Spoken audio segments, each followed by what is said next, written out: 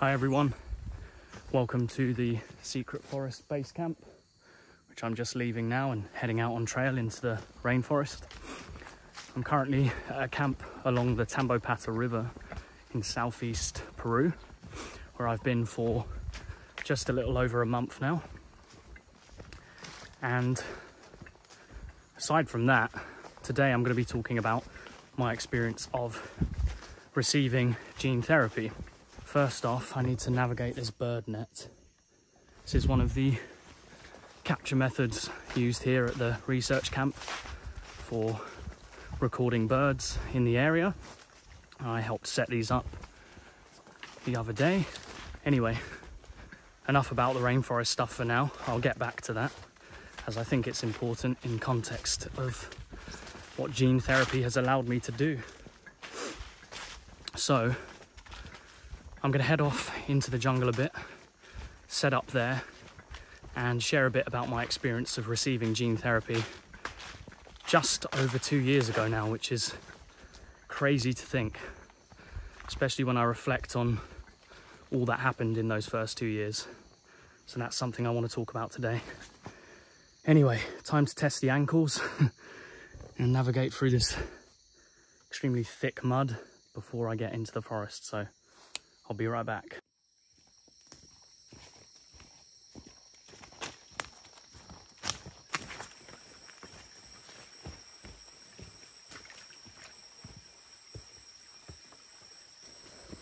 Ah, here we go. Bit of a break in the canopy here. Get some nice light through. That's one thing when you're in the dense forest. It's a fairly dark place even during the day. So this little opening here should serve well for my presentation or presentation. no slides here today, I'm afraid. Scan for bullet ants and other nasty, creepy crawlies. No dangerous looking snakes. So this should make a nice little spot for me to sit down and talk about my gene therapy experience. So I guess I'll start off by properly introducing myself as I haven't yet done so. So my name's Luke Pembroke and I live in London in the UK. But of course at the moment I am in the southeast of Peru in the Amazon jungle where I've been for just over a month now.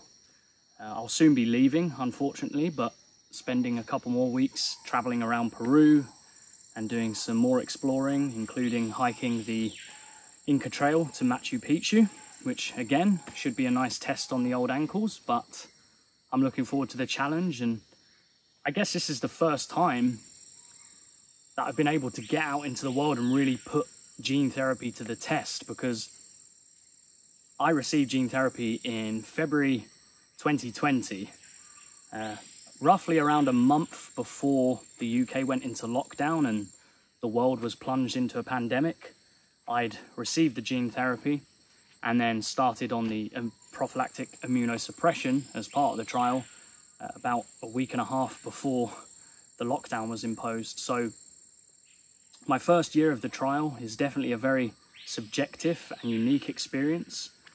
I think everyone's experience of gene therapy is a subjective experience and I really hope that we see more stories of people who've been through this process showcased. I'm going to talk about the initial experience of going through the trial, and then fast forward a bit to what I'm up to now and how gene therapy has impacted and changed my life. And I think being here in the rainforest is a really poignant setting for my talk about gene therapy as I've been here for just over a month and haemophilia really hasn't crossed my mind. I mean, I've had to cycle ice packs between a cool box to keep my emergency factor treatments ready, but I haven't needed to touch them aside from that. Uh, I haven't received a dose of factor since receiving gene therapy over two years ago now. And it's crazy to think that it's been that long already. The first year went very slowly, and the second year seemed to fly by. And now I'm back out in the world doing things that I love and doing it without the overshadowing presence of severe haemophilia. So at present, my levels are in the mild haemophilia range, uh, bouncing around the sort of 20 to 25% level. And of course, this means I'm not reliant on prophylaxis anymore, which is a game changer for me. I haven't had to bring an extra massive suitcase of factor with me traveling, which I'm sure those of you out there who've experienced that uh, know how frustrating it can be. And I was able to get my emergency factor into my camera equipment bag, so that was nice. After receiving the gene therapy, the following year and particularly the first six months was so intense. Granted, the pandemic intensified that, but the one thing I always express to people is just how much of a tough time I had on the immunosuppression.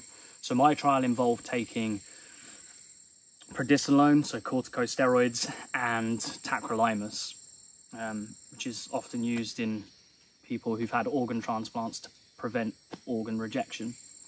And the combination of those two medications made me feel the most ill I've ever felt in my life.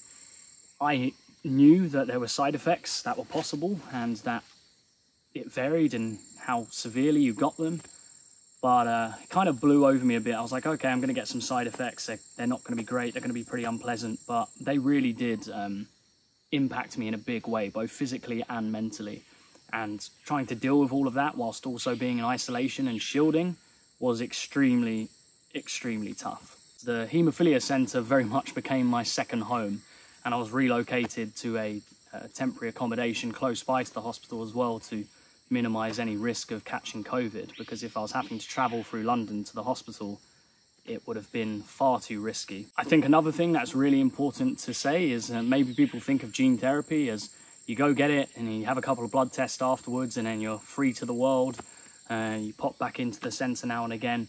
It very much was more structured than that. There were a large number of visits that I had to do in those early months and you don't escape the needles by any means. I mean, I've probably in the last two years had more uh, injections into my veins than I had done in years previous. But except this time they're taking blood out rather than putting stuff in. So a nice change to have. But uh, yeah, your veins definitely don't have a rest uh, for the first uh, few months of the trial. So another thing that's worth bearing in mind. Of course, now at the two year plus mark, I'm down to twice a year visits and the next time I'll be in will be towards the end of summer, I guess. So back to what it used to be pre-gene therapy.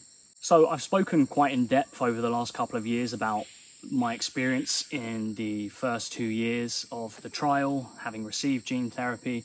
And if you're interested in that sort of stuff and want to find out more detail, then I have videos on my YouTube channel.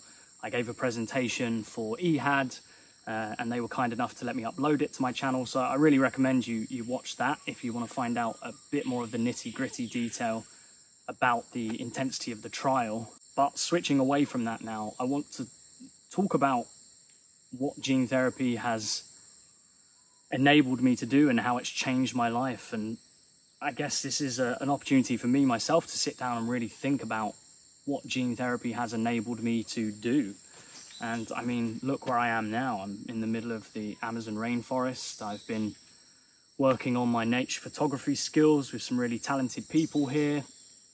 And I've been helping out some of the research that this foundation does here across the different groups of animals. And haemophilia has just been the furthest thing from my mind. This is the first time I'm really sitting down since being here to think about my haemophilia.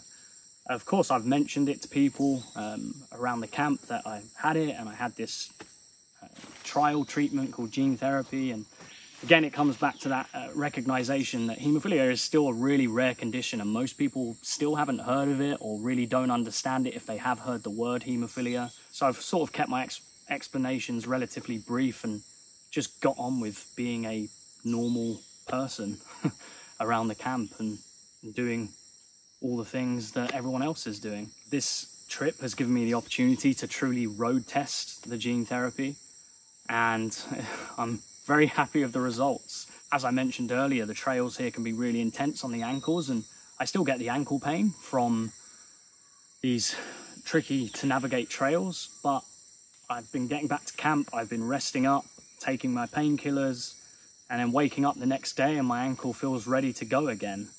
I guess I've become pretty accustomed to pushing through a certain level of pain, but also in the past I'd associate that with needing to be really careful and keeping an eye on it and looking out for a bleed, whereas now uh, I have not had to think about it that intensely.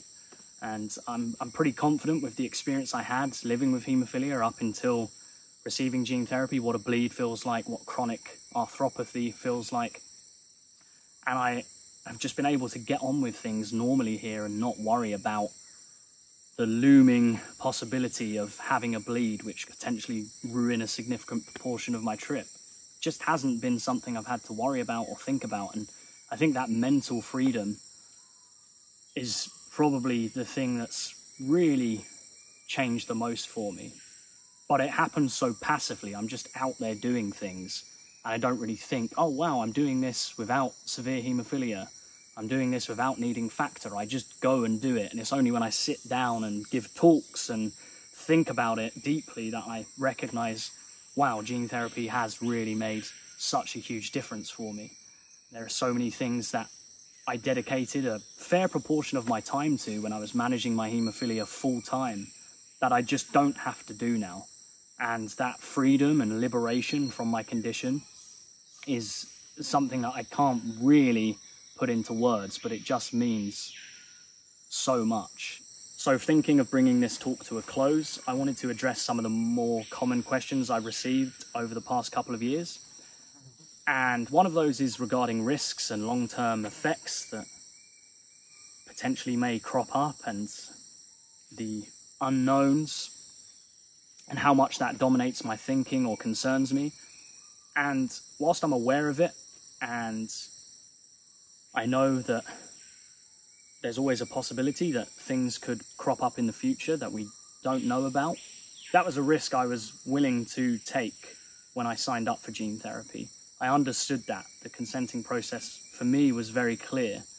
And I made that risk benefit assessment as an individual patient and person with haemophilia. And I was willing to still get involved in a gene therapy trial. It seemed like a worthwhile thing to do for me and these concerns around risks don't dominate my thoughts. I think if I let that happen, I'd forget to actually enjoy what gene therapy is currently doing for me. And of course, another big question I get is would you do it all again? Um, and the answer is always yes, and I hope it will remain that way. I mean, my biggest concern uh, or worry regarding gene therapy is if it wore off. I mean, I've experienced what it's like to live with mild haemophilia and contrast that to what it's like living with severe haemophilia is, is a huge difference for me. So if I ended up back where I was, uh, there's no escaping the fact I'd be very disappointed in a lot of ways. And I think I'd be concerned about readapting to going back to needing to take prophylaxis given my past results and the way things have gone, I'm fairly confident that I've reached a stable level and I hope it continues long term. But that's why I've signed up to this trial. This is what we need to find out. If we want gene therapy to be a possibility a truly life changing treatment option for people, we need people to sign up to trials. We need people to dedicate their time and, and we need the long term data. It's so important. It's so important that I remain committed to this trial, even though the hardest part is out the way. I'll still be going into my haemophilia centre. I'll still be keeping them up to date with everything that I do and making sure that we get this long-term data to really see how successful gene therapy can be. And I, I, remain so positive about the prospect of gene therapy and genetic medicines moving forwards in not only haemophilia, but for other conditions. And if my you know, small contribution as a trial participant has added to the bigger picture and helping us develop and fine tune these treatments for future generations, then I'm very happy to have done so. So I really don't have any regrets regarding my participation in this trial.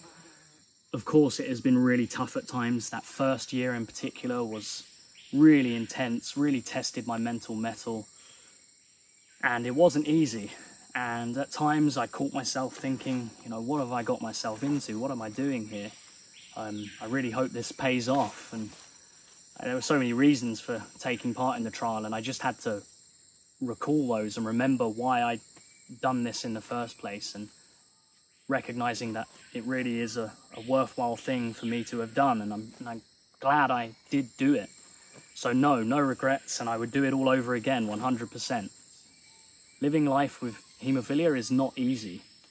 We're a very resilient and tough community, and I think we often make it seem like a lot of the things we go through is water off a duck's back, as we say in the UK, and that we make things that are actually pretty intense seem like not a big deal. You know, sitting down and injecting yourself with factor and finding a vein and learning that skill and planning a lot of things in advance around your haemophilia. We kind of just go, yeah, you know, that's part of my life, that's part of my routine. A lot of people say taking factor, it just becomes like brushing your teeth. But when you really think about it, it's not a pleasant thing to do. And and I commend this community of, of people in the world of bleeding disorders for often remaining so positive about the condition. But I think it's important to recognize that haemophilia does come with its challenges. And whilst I had to go through some really intense periods during this clinical trial that tested me physically, mentally, emotionally, socially, the way I see it is it's just another chapter in that haemophilia life story that we all have. And if anything, going through the intense trial in that first year just showed me how strong I can be and how resilient I am because of my haemophilia. When I look at the people in our community out there, we really are able to deal with so much that is thrown at us. There is still so much to do in the area of gene therapy. I know that, we all know that. It needs to be fine tuned, it needs to be worked on to become more acceptable for a wider group of people. I think the impact it can have on people's lives is huge when it's fully realized. But we'll only get there by continuing to do what we've been doing and being thorough in our research and having these discussions and listening to people's experiences and learning more about the wider gene therapy picture. And I'm really excited to see what the future holds for gene therapy. And I'm really happy that I played a small part in that in, in some way. So no regrets, and thank you for listening to me ramble on about my gene therapy experience. And I hope you all enjoy the rest of this Congress, wherever you are watching.